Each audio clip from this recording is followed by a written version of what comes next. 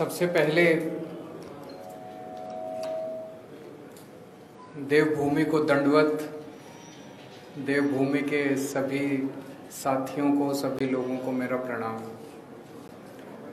चार धाम की यात्रा शुरू होने पे सभी लोगों को बहुत बहुत बधाई। उत्तराखंड को बने हुए 21 साल हो गए।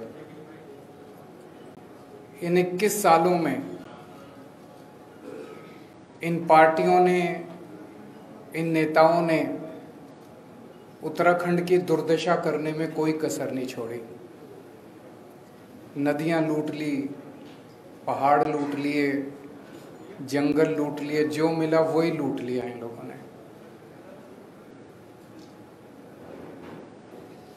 आज, पिछले कुछ दिनों से, पिछले कुछ महीनों से, कोटियाल साहब के साथ बैठ के उत्तराखंड के लोगों के साथ बैठ के, देवभूमि के लोगों के साथ बैठ के, इन 21 सालों की दुर्दशा को 21 महीनों में ठीक करने का हम लोग प्लान बना रहे हैं। और वही प्लान एक एक करके आप लोगों के सामने लेके आ रहे हैं। कैसे स्कूल बनाए जाएँगे कैसे अस्पताल खोले जाएँगे? कैसे 24 घंटे बिजली मुहैया कराई जाएगी? कैसे सड़कें ठीक की जाएँगी? कैसे खेती ठीक की जाएगी? कैसे रोज़गार मुहैया कराए जाएँगे? इन सारी चीज़ों के ऊपर जो 21 साल में इन सबने मिलकर दुर्दशा की है, इस दुर्दशा को 21 महीनों में ठीक करने का पूरा प्लान हम लोगों ने उत्तराखंड के लोगों के साथ मिलकर तैयार किया है। उस प्लान का पहला बिंदु, मैं अभी जब कुछ हफ़्ते पहले आया था, तब आपके बीच में रखा था कि लोग बिजली के बिलों से परेशान हैं, किसान बिजली के बिलों से परेशान हैं, पुराने अनाप शनाप बिलों से परेशान हैं। तो हमने कहा कि जैसे दिल्ली में करके दिखाया, दिल्ली में आज लगभग तिहत्तर प्रतिशत लोगों को मुफ़्त बिजली मिलती है। हमने करके दिखाया है, हम झूठे वादे नहीं करते। ऐसे ही उत्तराखंड में आम आदमी पार्टी की सरकार बनेगी तो 300 यूनिट बिजली मुफ़्त देंगे, पुराने बिजली के बिल माफ़ करेंगे, किसानों को मुफ़्त बिजली देंगे, और 24 घंटे ऐसा नहीं कि भाई इरेस्पॉन्सिबल स्टेटमेंट है। कोई कहेगा, मुफ़्त बिजली देंगे तो बिजली नहीं आएगी। 24 घंटे बिजली आएगी और मुफ़्त बिजली आएगी।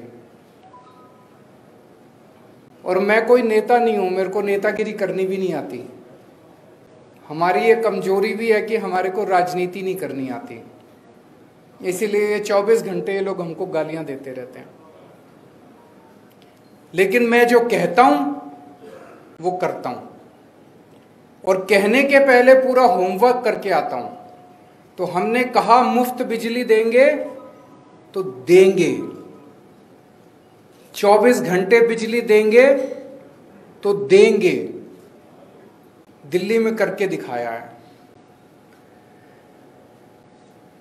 आज देवभूमि के युवाओं का दर्द आज देवभूमि के युवाओं की जो तकलीफ़ है उसके बारे में बा, बा, बातचीत करने के लिए आया हूँ। जैसा भी कोटियाल साहब कह रहे थे उत्तराखंड के युवा में खूब एनर्जी है। उत्तराखंड के युवा को जब भी अवसर मिला उसने गजब के काम करके दिखाए हैं। उत्तराखंड का युवा जब फौज में जाता है तो गजब की शक्ति दिखाता है। लेकिन पिछले 21 सालों की जो दुर्दशा इन पार्टियों और नेताओं ने मिलकर की है, उन्होंने युवाओं की भी दुर्दशा कर दिया आज युवा के पास अवसरों की तल, आज युवा अवसरों की तलाश में, उत्तराखंड के अंदर उसको जब अवसर नहीं मिलते तो उसको अवसरों की तलाश में अपना घर बार छोड़ के पूरे चारों तरफ़ दुनिया में, देश की तरफ़ जाना पड़ता है। कोई अपना घर छोड़ के नहीं जाना चाहता, अपनी मर्ज़ी से। सब चाहते हैं कि मैं अपने घर में ही रहूँ, अपने गाँव में ही रहूँ, अगर मुझे वहाँ अवसर मिल जाए तो। लेकिन आज सबसे बड़ी समस्या उत्तराखंड की उसका पलायन बन गई है। एक तरह से उत्तराखंड पलायन प्रदेश बन गया है, और युवा बहुत ज़्यादा दुखी है। हर युवा को रोज़गार चाहिए। युवा भीख नहीं मांग रहा, उसका अधिकार है। हर युवा को रोज़गार चाहिए। और ये हो सकता है। आप पूछेंगे, ये हो सकता है कि ये हो सकता है। इस पर हमने खूब चर्चा की, घंटों चर्चा की। इस पर खूब प्लानिंग करी हम लोगों ने। एक ही शर्त है। अच्छी नीयत वाली सरकार चाहिए। तो उत्तराखंड के युवाओं को रोज़गार देने के लिए उत्तराखंड के युवाओं को रोज़गार मुहैया कराने के लिए आज मैं छह घोषणाएँ कर रहा हूँ। आम आदमी पार्टी की सरकार बनेगी तो उत्तराखंड के हर बेरोजगार युवा के लिए रोज़गार मुहैया कराया जाएगा। ये पहली घोषणा। है दूसरी घोषणा जब तक उस बेरोजगार युवा को रोज़गार नहीं मिल जाता, हर परिवार से एक युवा को पाँच हज़ार रुपये महीना दिया जाएगा, जब तक उसके लिए रोज़गार मुहैया नहीं करा करा दिया जाता। इसको आप बेरोजगारी भत्ता कह लीजिए, जो मर्ज़ी कह लीजिए। तीसरा, सरकार में और प्राइवेट में 80 प्रतिशत नौकरियाँ उत्तराखंड के बच्चों के लिए रिज़र्व की जाएँगी। चौथा, सरकार बनने के छह महीने के अंदर एक लाख सरकारी नौकरियाँ तैयार की जाएँगी। आप पूछेंगे कैसे होंगी? लगभग पचास से साठ हज़ार तो वैकेंसी हैं सरकार में अभी। और उसके बाद जैसे मैंने बताया और आने वाले दिनों में मैं और कई बार आऊँगा, हम इतने स्कूल, अस्पताल, सड़कें, मोहल्ला क्लिनिक, हमने इतने सारे प्लान बना रखे हैं जो एक एक करके आपके साथ शेयर करेंगे। इन सबको मिला के इतनी नौकरियाँ पैदा होंगी, नई नौकरियाँ क्रिएट की जाएँगी सरकार के अंदर तो लगभग छः महीने के अंदर एक लाख नौकरियाँ तैयार की जाएँगी सरकार में। दिल्ली में अभी हमने एक एक्सपेरिमेंट किया था, जो बेहद सक्सेसफुल रहा। हमने एक जॉब पोर्टल बनाया। हमने कहा, भाई, जो नौकरी देने वाले हैं, वो इस पे अपनी सारी नौकरियाँ कर दो, और जो नौकरी लेने वाले हैं, वो भी कर दो। कोरोना के वक्त में बहुत सारे लोग बेरोजगार हो गए थे। आपको जान के ताजुब होगा, दस लाख नौकरियाँ इस जॉब पोर्टल पे आई थी, दस लाख नौकरियाँ। इस जॉब पोर्टल पे एडवर्टाइज हुई थी। ऐसा ही जॉब पोर्टल उत्तराखंड के बच्चों के लिए तैयार किया जाएगा, जहाँ पे नौकरी देने वाले और नौकरी लेने वाले आपस में मिल सकें। और मैं समझता हूँ इसके अंदर बहुत बड़ी ताकत है। और छठा, एक अलग से मंत्रालय बनाया जाएगा। रोज़गार और पलायन मामलों का मंत्रालय। उस मंत्रालय का काम होगा कि रोज़गार के नए नए अवसर तैयार करना एक तरफ़ और दूसरा, युवाओं को पलायन करने से रोकने के लिए सभी उचित कदम उठाना।